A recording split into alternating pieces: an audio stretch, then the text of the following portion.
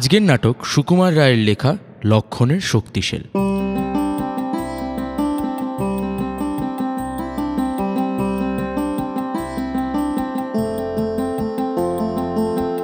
রামের শিবির।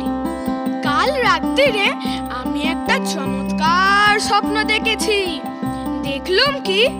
রাবণ বেটা একটা লম্বা তাল গাছে চড়ছে চড়তে চড়তে হঠাৎ পা ফেছলে একেবারে পপাতোছ মামারোছ তবে হয়তো রাবণ বেটা সত্যি সত্যিই মরেছে।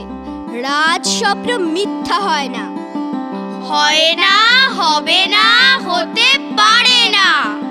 আমি হনুমানকে বললুম যা বেটাকে সমুদ্রে ফেলে দিয়ে আয়। হনুমান এসে বললে কি ফেলবারও দরকার হলো না। সে একেবারে মরে গেছে। বাহ বাহ একদম মরে গেছে। ব্যাস আর চাই কি? খুব ফুর্তি করো। ওই দেখো রাবণের রথ দেখা যাচ্ছে। দেখেছ? এটা রাবণ। ওই যে লাঠি কাঁধে তবু মরেনি। বেটার জান তো খুব করা এই হনুমান বেটাই তো বাটি করলে। তখন রাবণকে সমুদ্রে ফেলে দিলেই গোল চুকে যেত। না, বেটা আবার বিদ্যে জাহির করতে গিয়েছে। একেবারে মরে গেছে। চোর পালালে বুদ্ধি বাড়ে। কি হে দূত, খবর কি? আগে আমি এই মাত্র আসছি। ব্যাস মস্ত খবর দিয়েছ আর কি। এই মাত্র আসছো, তোপ ফেলতে হবে। আজ কি ঘটলো না ঘটলো, সব ভালো করে গুছিয়ে বলো। আগে আমি ছান টান করেই পুঁই শাক চচ্চড়ি আর কুমড়ো ছেঁচকি দিয়ে চারটি ভাত খেয়ে অমনি বেরিয়েছি। অবশ্যই আজকে পাজে যে কুষ্মাণ্ড ভক্ষণ নিষেধ লিখেছিল, কিন্তু কি হলো জানেন?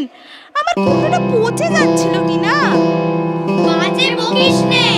কাজের কথা বল। হ্যাঁ হ্যাঁ। খেয়ে উঠে ঘণ্টা দু তিন জিরিয়ে সেখানে গিয়ে দেখি খুব ঢাকঢোল বাজছে। ধ্যারারা র্যা র্যা র্যা র্যা,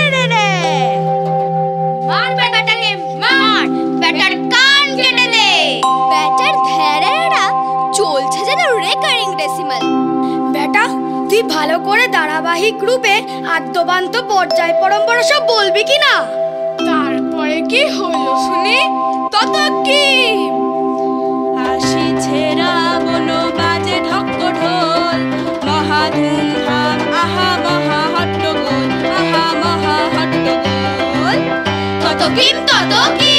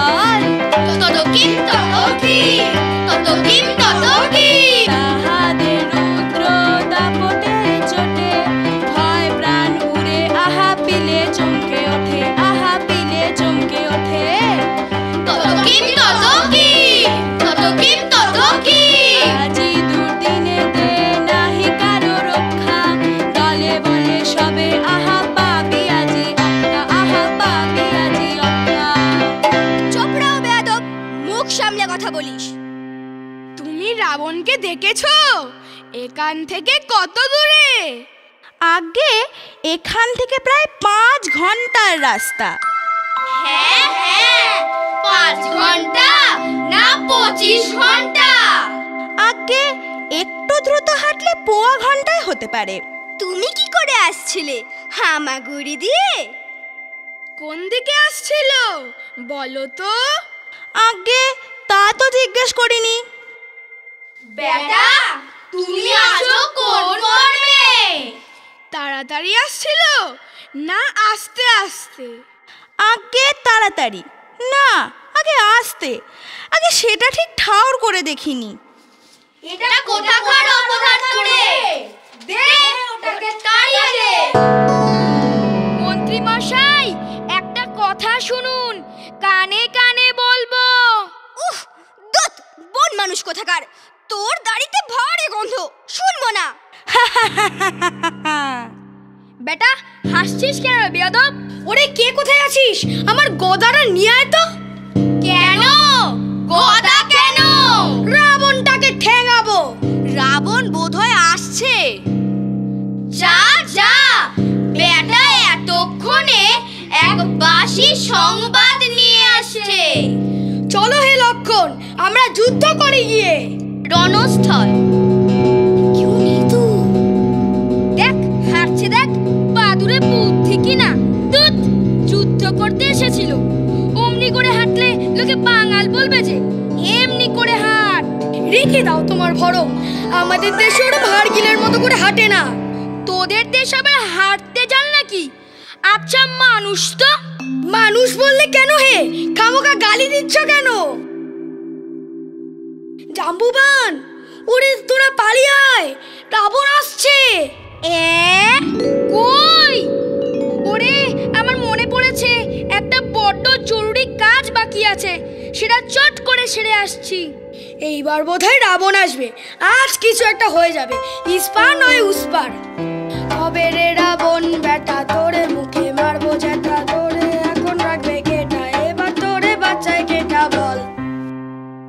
মুখের দুপাটি দন্ত ভাঙিয়া করিব অন্ত তোরে এখনই প্রাণান্ত। তৈরে বেটা জমের বাড়ি চল।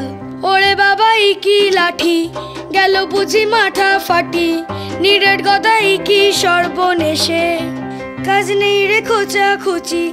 ছেড়ে দে ভাই, একে দে বাঁচি। সাধের প্রান্তি হারাবো কি শেষে? ছেড়ে দে ভাই, কে দে বাঁচি? সাধের প্রান্তি হারাবো কি শেষে? ছি ছি ছি ছি। এত গর্ব করে, এত আস্ফলন করে শেষটায় চম্পট দিলি? Same same. লক্ষণের প্রবেশ। হর হর হর হর মার মার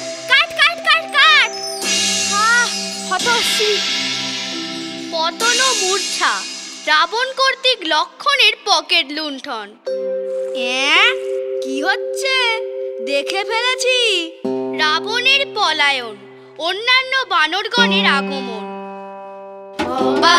করলে রাবণ বুড়ো শশীর বাড়ি সুগ্রীব বাড়ি করলে যে তার মাথা ঘুরো।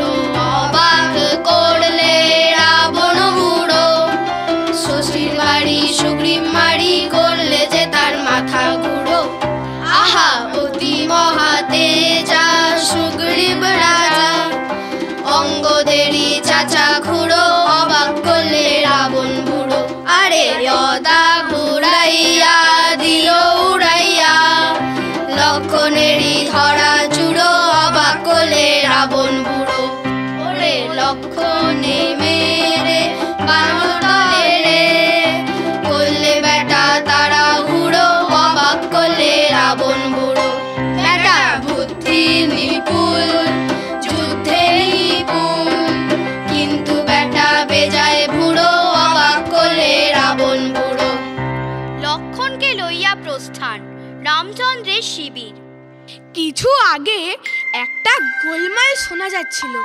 বোধহয় কোথাও যুদ্ধ বেঁধে থাকবে। তা হবে। আরে ও পালোয়ানজি এ কি হলো? খোরাচ্ছ কেন? ষাট ষাট ষাট। কি হে সুগ্রীব, তোমার যে দেখছি বভ্যারম্ভে লঘুক্রিয়া হলো। আগে বজ্রাটুনি ফসকা গেরো যত তেজ বুঝি তোমার মুখেই। আজ্ঞে হ্যাঁ মুখেন মারিতং জগৎ। আমি বলি কি তুমি মস্ত যোদ্ধা। যোদ্ধা বলে যোদ্ধা? ঢাল নেই তলোয়ার নেই খামচা মারেঙ্গা। আমি বরাবরই বলে আসছি। দেখ তোর জ্ঞান জ্ঞানানি আমার ভালো লাগে না। এত গোলমাল কিসের হে? রাবণ এদিকে আসছে না তো। রাবণ আসছে। ছাতাটা কোথায় গেল? ব্যাগটা? হ্যাঁ রে, তোর গায়ে জোর আছে। আমায় কাঁধে নিতে পারবি? শ্রীমান লক্ষণ আসছেন। এত হল্লা করে আসছেন কেন? চেঁচাতে বারণ কর। আগে তিনি আসছেন ঠিক নয়। তবে হ্যাঁ একরকম আসছেনই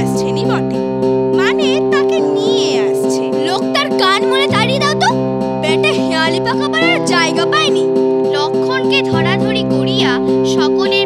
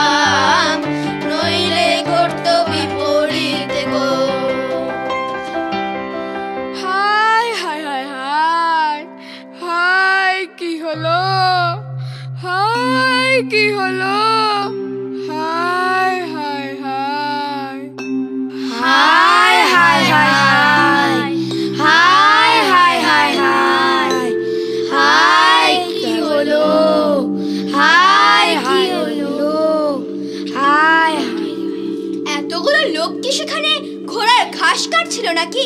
হনুমান বেটা কি করছিল? আমি বাতাসা খাচ্ছিলুম। বেটা তুমি বাতাসা খাওয়ার সময় পাওনি? তারপর তোমাদের মতলব কি স্থির হলো? এইবার সবাই মিলে রাবণ বেটাকে কিছু শিক্ষা দিতে হবে। হ্যাঁ হ্যাঁ ঠিক কথা ঠিক কথা। জাম্বুবানের নিদ্রা সকলের গান। রাবণ বেটাই মারো সবাই রাবণ বেটাই মারো।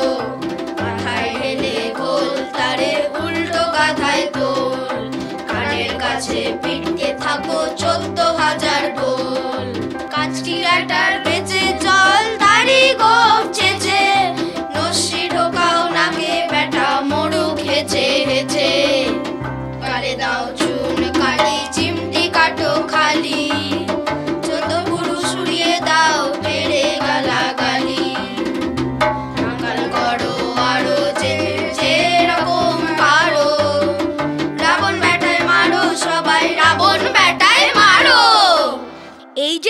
রামচন্দ্র গাত্রোৎপাটন করেছেন। তারপরে ওষুধপত্রের কি ব্যবস্থা করলে? এই যা ওষুধপত্রের তো কিছু ব্যবস্থা হলো না। মন্ত্রী মশাই গেলেন কোথা মন্ত্রী মশাই একটু ঘুমোচ্ছেন। ব্যাস তবেই কেল্লা ফতে করেছেন আর কি। মন্ত্রী মশাই আরে ও মন্ত্রী মশাই আহা একবার উঠুন না। হ্যাঁ রে আমার লেজে পাড়িয়ে দিলি? বুঝলে হে জাম্বুবান তুমি কি না হচ্ছ প্রবীণ লোক? এ সম্বন্ধে নিশ্চয়ই তোমার খুব অভিজ্ঞতা আছে। আগে হ্যাঁ। সে কথা আগে বললেই হতো। তা না বেটারা খালি ধাক্কাই মারছে।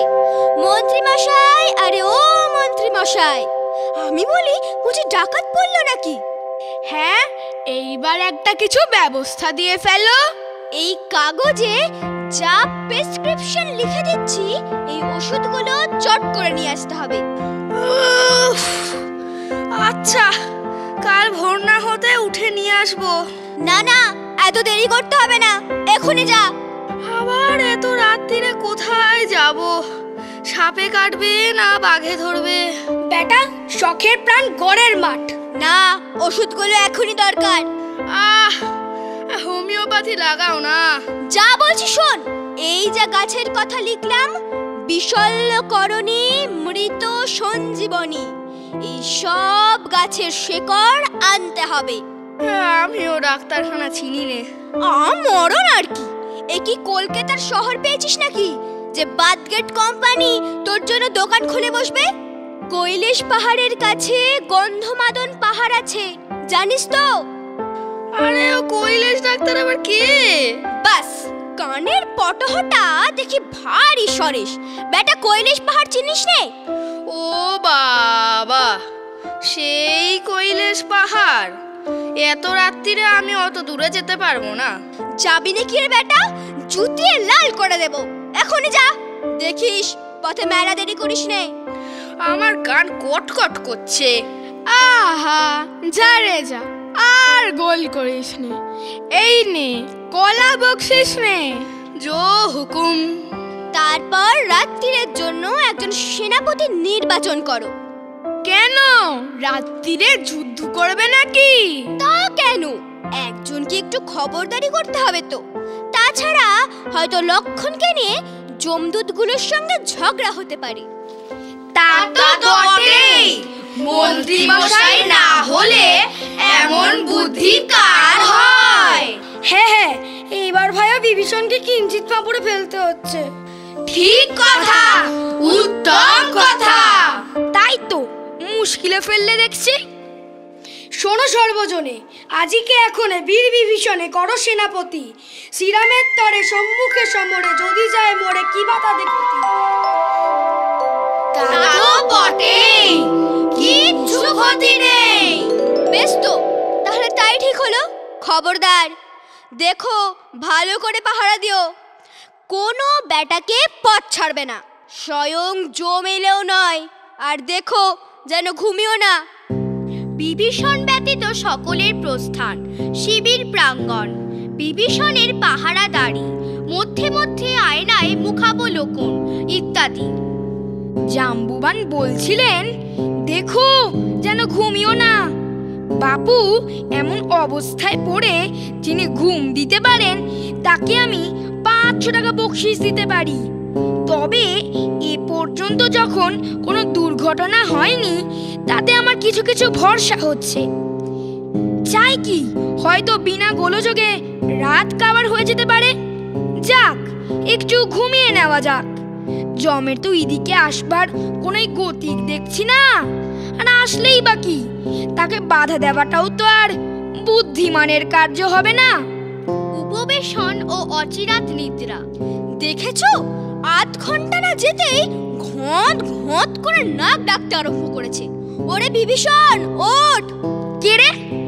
ও জাম্বুবান যে, তুই বুঝে মনে করছিলি আমি ঘুমিয়ে পড়েছি? আমি কিন্তু সত্যি করে ঘুমোইনি। হ্যাঁ হ্যাঁ আমায় আর সমঝাতে হবে না। দিব্যি করে নাক ডাকছে, আবার বলে, সত্যি করে ঘুমোইনি। তুই টের পাসনি? আমি মিটমিট করে চেয়ে দেখছিলাম। না না মিট মিট করে দেখলে চলবে না। ভালো করে পাহারা দিতে হবে। বেটা তো ভারী জোচ্চর। আমার ঘুম ভাঙিয়ে দিল। যমদূতদয়ের প্রবেশ। হ্যাঁ রে বাড়িটা ঠিক চিনে এসেছিস তো? আরে হ্যাঁ রে। হ্যাঁ এতদিন কাজ করেছি।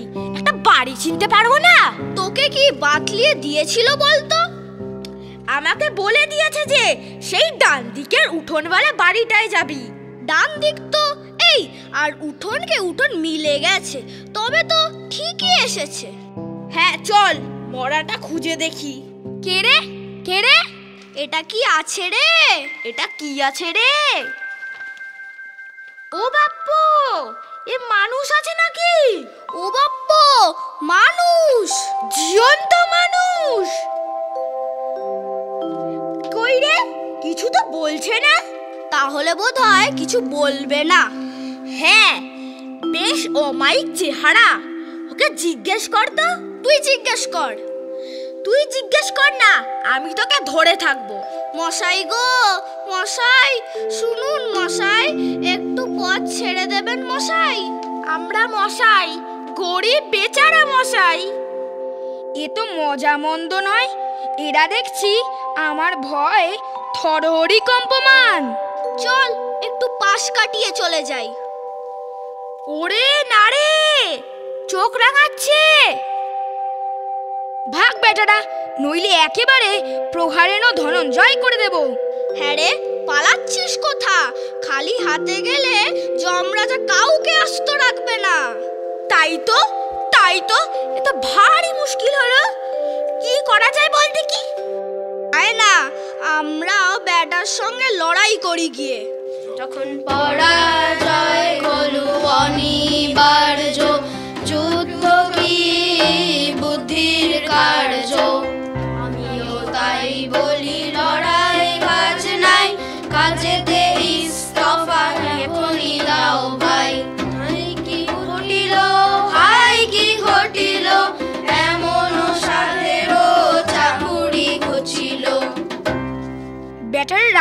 রাত গান জুড়েছিস? চাপ দিয়ে রোগা করে দেব। দোহাই মহারাজ দোহাই যমরাজা আমাদের কিছু দোষ নেই। ওই এক ব্যাটা আমাদের পথ ছাড়ছে না। জমের প্রবেশ। এই মাটি করেছে। এখন উপায়? আটকাতে গেলে জম মারবে না আটকালে রাম মারবে। উভয় সংকট। যা থাকে কপালে। বেটাকে পথ ছাড়বো না। তবে রে বেটা আমায় চিনিস নে? আমি থাকতে তুই ঢুকবি? ওরে এবার লড়াই বাঁধবে। হ্যাঁ রে ভারী মজা দেখা যাবে। পালা পালা এই বেলা পালা। হ্যাঁ এই যে অস্তর দেখছ ওর একটা ঘা খেলেই কেষ্ট প্রাপ্ত হবে। তুই কে রে বেটা? মরতে এসেছিস? কালরূপে মৃত্যু আমি যম নাম ধরি সর্বগ্রাসী সর্বভূক সকল সংহারী, সর্বকালে সমভাব, সকলের প্রতি, ত্রিভুবনে সর্বস্থানে অব্যাহত গতি, অন্তিমেতে দেখা দেই কৃতান্তের বেশে, মোর সাথে পরিচয় জীবনের শেষে, সংসারের মহাযাত্রা ফুরায়ে যেমন, শ্রান্তজনে শান্তি দেই আমি সমন।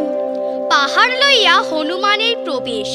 জমের মাথায় পাহাড় স্থাপন জমির পতন।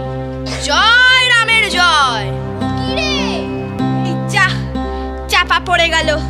তাই তোরে চাপা পড়ল যে। হেরি আমার মাইকে কে দেবে? তাই তো আমারও যে পাওনা আছে। ওগো আমাদের কি হলো গো?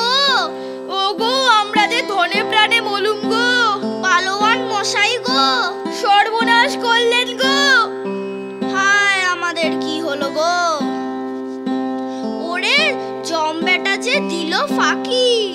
ওদের তেরো আনা মাইনে বাকি। আহা, দেখ না বেটা, মলো নাকি। ওর চুল ধরে দে না ঝাঁকি। এই বিপদকালে কারে ডাকি? হায় হায়, জম বেটা যে দিল ফাঁকি। হনুমান কর্তৃক দুধদয়ের গলা পাকড়ানো। ভাগ ভাগ, বেটারা গান ধরেছে, যেন কুকুরের লড়াই বেঁধেছে। দুধদয়ের প্রস্থান। এবার সকলকে ডেকে নিয়ে হনুমানের প্রস্থান। লক্ষণকে ধরাধরি করিয়া সকলের প্রবেশ। ওটা কি রে? ওটা কি রে? আগে ওপরে একটা গন্ধমাদন পাহাড়। ব্যাটা গোমুখ্য কথাকার? পাহাড় শুদ্ধ নিয়ে এসেছিস? আগে গাছ চিনি নে। আর ওই নিচেরটা জম রাজা। আরে আরে, করেছিস কি রে বেটা? করেছিস কি? থাক, অমনি থাক। আগে লক্ষণের একটা কিছু গতিক করে নেই, তারপর দেখা যাবে। ঔষধান্বেষণ, ঔষধ প্রয়োগে লক্ষণের চেতনা লাভ। বাবা কেয়া বাত কেয়া বাত, কি সাফাই ওষুধ রে? হাজার হোক, স্বদেশী ওষুধ তো। তাই বলো, স্বদেশী না হলে কি এমন হয়? হ্যাঁ এইবার জমকে ছেড়ে দাও। সে কি আপনি তবে বেঁচে আছেন? তা না তো কি? তুই জ্যান্ত মানুষ নিয়ে কারবার আরম্ভ করলে কবে থেকে? হনুমান বেটা, বুঝি ওকে চাপা দিয়েছিল? বেটার বুদ্ধি দেখ। তা বুদ্ধি থাকুক আর নাই থাকুক, ওষুধ এনে বাহাদুরিটা নিয়েছি তো। আমি পাহাড়ে না দিলে ওষুধ কি হতো রে? ওষুধ আনতে আনতে জমের বাড়ি পর্যন্ত পৌঁছে যেত। আমারই তো বাহাদুরি। অর্থাৎ কি না আমার বাহাদুরি? আমি বললুম তবে তো বিভীষণ পাহারা দিল। আর বিভীষণ পাহারা দিল বলেই তো জমদূতগুলোর আটকা পড়ল। আরে বেটা ওষুধের ব্যবস্থা করল কে? তোদের বুদ্ধি সে সময় উড়ে গেছিল কোথায়? হ্যাঁ সেটা ঠিক। কিন্তু আমি যুক্তির কথা না জিজ্ঞেস করলে তুমি হয়তো এখনও পড়ে নাক ডাকাতে। আর আমি যদি শক্তিশাল খেয়ে না পড়তাম, তো এত সব কাণ্ড কারখানা কিছুই হতো না। আর তোমরাও বিদ্যে জাহির করতে পারতে না। যাক, এখন মেলা রাত হয়ে গেছে। তোমরা স্ব গৃহে প্রত্যাবর্তন পূর্বক নিদ্রার চেষ্টা দেখো। তোমাদের মাথা ঠান্ডা হবে, আর আমিও একটু ঘুমিয়ে বাঁচবো আমায় কিছু বকশিস দেবে না? হ্যাঁ ওকে চারটি বাতাসা দিয়ে মধুরেণ সমাপয়েত করে দাও। আমার কথাটি ফুরলো নোটে গাছটি মুড়লো। কেন রে নোটে মুরলি বেশ করেছি। তোর তাতে কি রে বেটা? ইত্যাদি ইত্যাদি ইত্যাদি।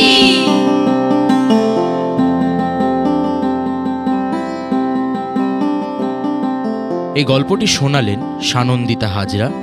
অন্যান্য চরিত্রে রাম, আর্শ আলম, সুগ্রীব ময়ূক চ্যাটার্জি, জাম্বুবান, আকাশলীনা রায়, হনুমান, আদ্রিত পাল, সভাসদগণ, আয়ুষ নস্কর ও সানন্দিতা হাজরা। বিভীষণের ভূমিকায় স্মৃতিক সাঁতরা, রাবণ গৈরিক চ্যাটার্জি, লক্ষণ প্রিয়াংশু বসু যমদূতদ্বয় দেবাঙ্গিক দেবনাথ ও প্রিয়াংশু বসু। দূত ও যমের ভূমিকায় মধুবনী কুণ্ডু। গানের দল সম্বিত পাল প্রত্যয় ব্যানার্জি নীলাদ্রি দুয়ারি এবং সাগ্নিক চক্রবর্তী। গানের সুরারোপ করেছেন দেবাদ্রিত চট্টোপাধ্যায়। তালযন্ত্রে সিদ্ধার্থ ভট্টাচার্য। ব্যবস্থাপনায় গৌতম দাস ও পম্পা গাঙ্গুলি। পরিচালনায় অনিরুদ্ধ ঘোষ। কৃতজ্ঞতা স্বীকার Nabanalanda high school Kabir road দিবা বিভাগ। আগামী রবিবার আপনারা শুনবেন একটি কবিতা নাটিকা।